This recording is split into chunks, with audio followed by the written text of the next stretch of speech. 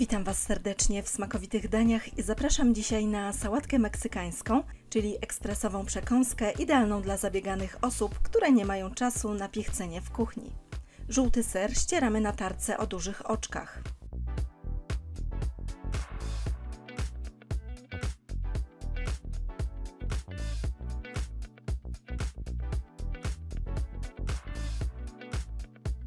Starty ser przekładamy do dużej miski.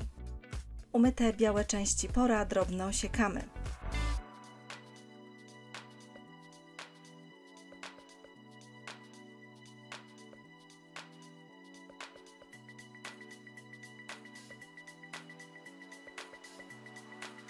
Posiekanego pora dodajemy do miski z żółtym serem. Następnie do sałatki wrzucamy odsączonego z syropu ananasa, odsączoną z zalewy kukurydzę oraz czerwoną fasolkę. Na końcu do sałatki dodajemy majonez. Wszystko doprawiamy solą oraz czarnym pieprzem i dokładnie mieszamy.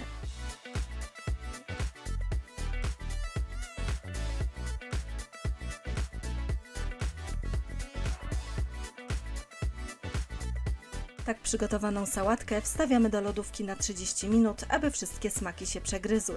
Po więcej pysznych przepisów zapraszam na mój kanał Smakowite Dania oraz na stronę smakowitedania.com.